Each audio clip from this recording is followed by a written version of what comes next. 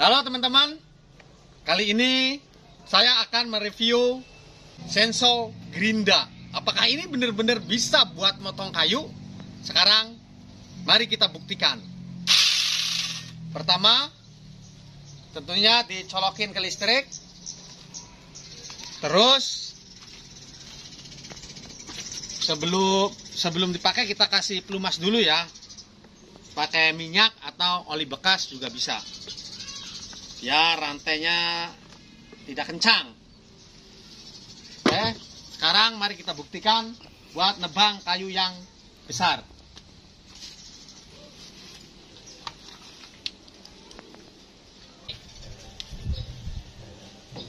Oke ya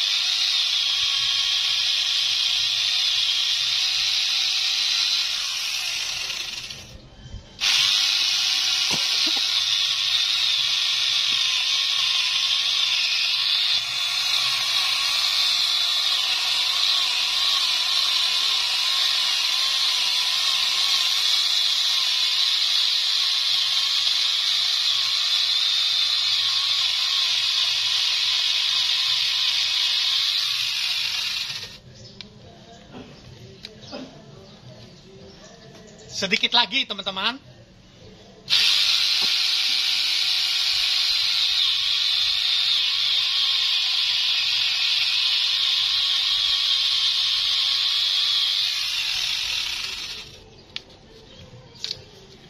ternyata benar teman-teman. Bisa potong.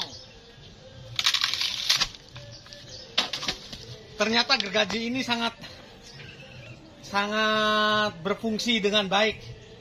Kalau teman-teman mau beli silakan. Banyak di online shop atau all shop all shop ya teman-teman ya.